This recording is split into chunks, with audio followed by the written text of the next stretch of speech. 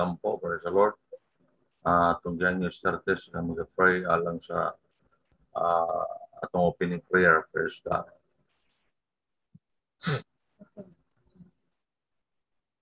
Lord, Lord, salamat po God sa inyo.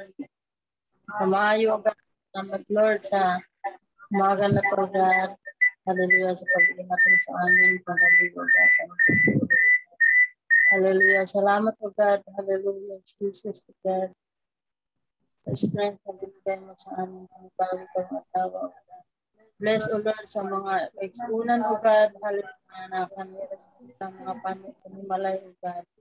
Hallelujah. Parayan ko o Lord na hallelujah mga Nalangin kanila, ginoo mga adlaw-adlaw sa mga bayan. Guys, sila po sa pasto sa nila mga tawa sa God. As we give you back that glory, we pray. Amen. Amen. Ito plaktakan glumigson. Praise the Lord. Hallelujah. Hallelujah. Praise God. Praise God. Praise God. Oh, nintak na may Hallelujah. At pa sa mga mo. At at ang Hebrews 11. Praise God. Okay, mo ganda mic. Hebrews 11.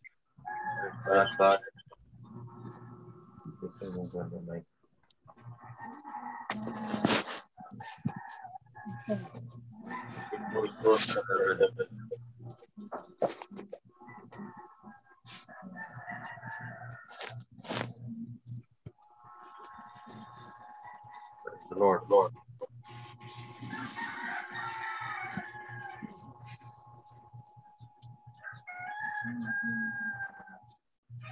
Praise God. So, magsugod ta may igsoon ko gikan sa 1. Praise the Lord, no? May mga butang atong pagkatutuon ini maong uh, chapter, praise the Lord. Nung dinimigsoon ko, sa Hebrews chapter 11, Sugunta sa 1, karon ang pagtuo mao ang pasalig kanato sa mga butang nga atong ginapaabot ang pangimatuod sa pagkanaa sa mga butang nga dili nato makita. Kay tungod niini ang mga tao sa karaan no katong unang mga patriarka, mga ta- katawan sa Ginoo na nagpakadawat sa langit ng pag-uyon.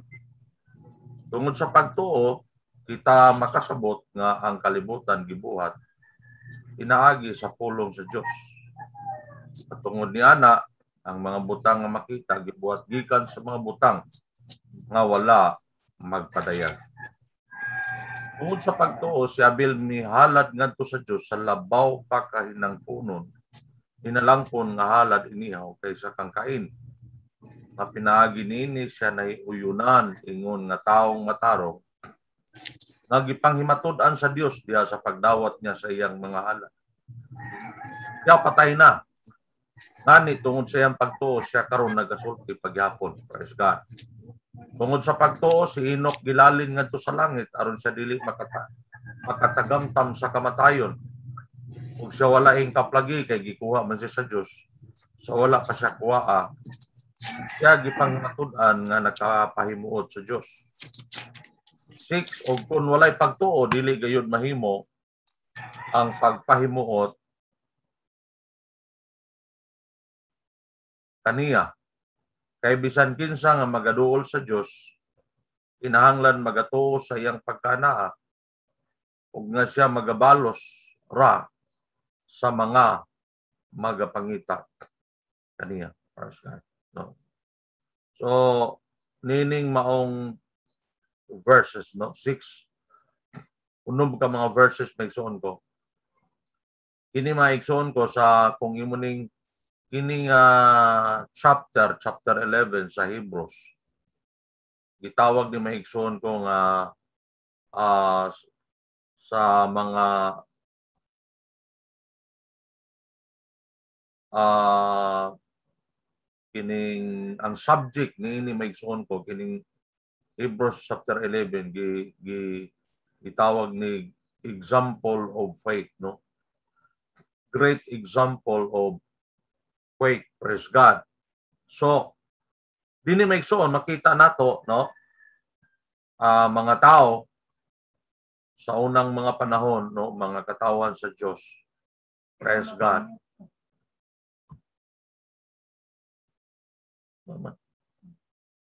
Praise God. Mga katawan sa Diyos, mga igsoon ko, nga nakadawat sa ilang uh, panalangin. Praise God.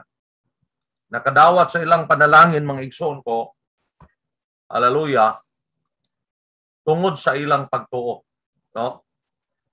O kung atong makita, may igsoon ko ang verse 1, nagaingon diha, nga ang pagtuo mao kini maigsuon ko ang ginatawag nga pasalig sa mga butang nga atong ginapaabot no so uh, dili maigsuon ko ang tanan nga atong ginatuhan.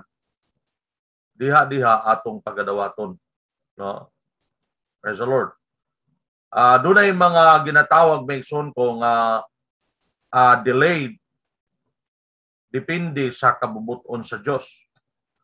Pero sumala sa sa pulong sa Ginoo nga ang pagtuo mao kini maigsoon ko ang panghimatuod no sa pagkaanaa sa mga butang nga dili nato makita. So sa dihan kita moampo sa Ginoo, sa dihan kita mangayo sa Ginoo, sa diha mga igsuon ko nga atong ipadayag sa Ginoo ang atong mga gikinahanglan. Praise God. Hallelujah. Kini ato ng tuuhan nga ato ng nadawat. That's faith, no? Tuuhan nato. Kay sumala maigsuon ko sa Bible nga kung wala tay pagtuo ang Dios dili yun mahimuot, no? Tungod kay dunay mga tao sa Bible nga gisgutan maigsoon ko niini nga chapter nga bisan sila nagatuo sa Dios apan wala pa nila madawat mga igsuon ko ang mga balos sa ilang mga pagtuo. No? So, laktod pagkasulti maigsoon ko ang katubagan sa mga butang nga atong gituohan dili mo'y kitay magbuot. No?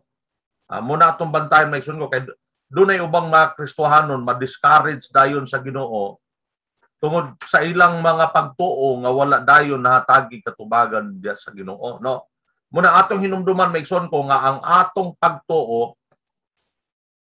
makabatog katubagan dili sa atong kaugalingong kabubuton no apan ang pagtuo nato may ko makabatog katubagan sumala sa kabubuton sa Diyos.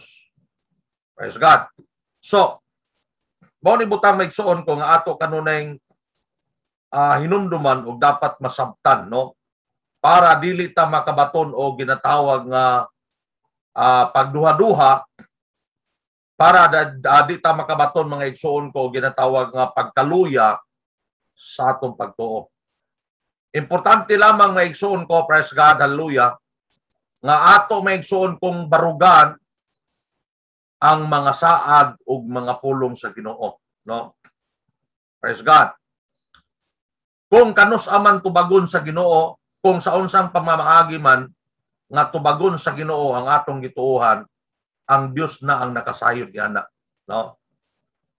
Apan sumala sa iyang mga pulong mga igsoon ko, ang Dios magakahimuot kanato sa diya nga iyang makaplagan ang atong pagtuo. Yes, God.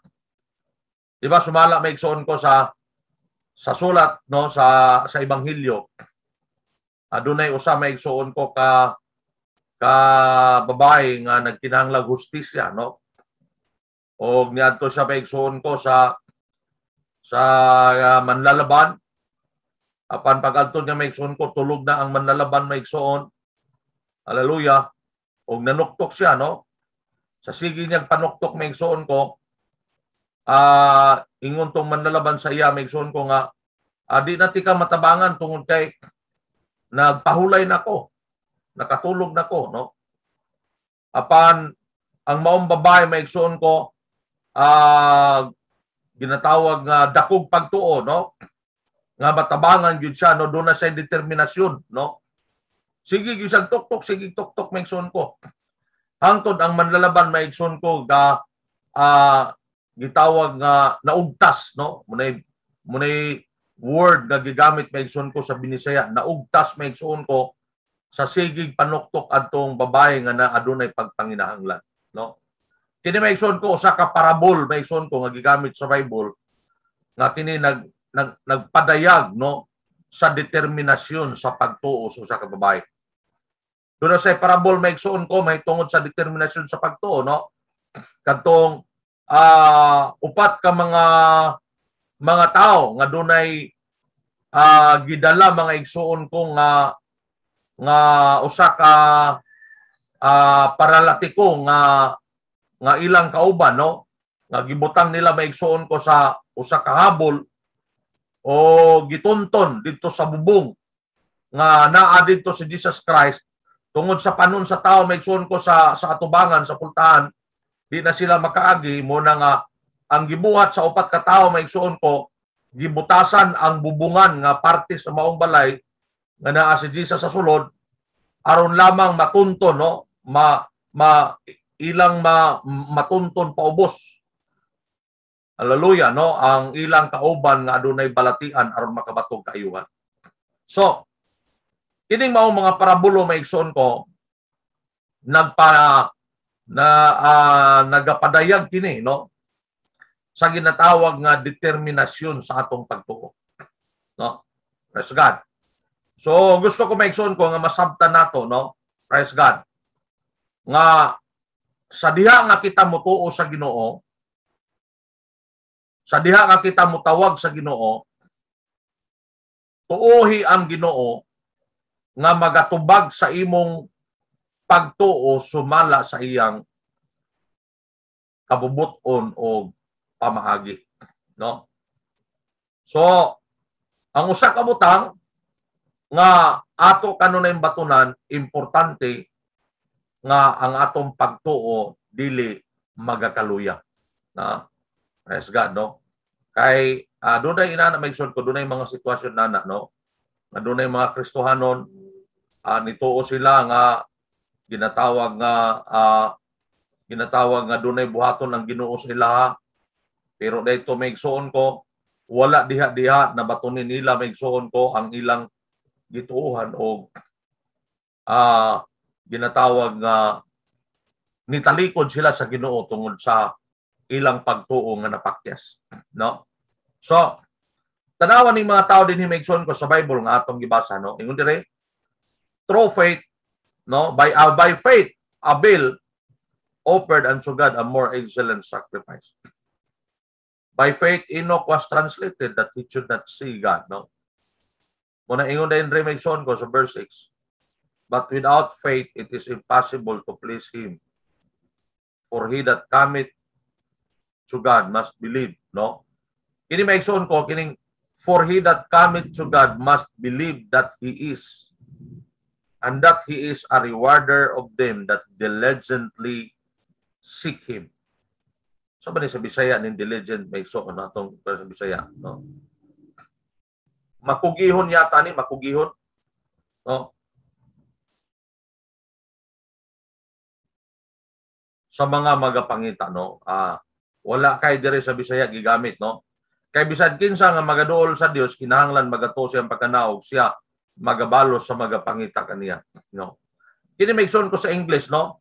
Tanawan ni, no? Sa verse 6.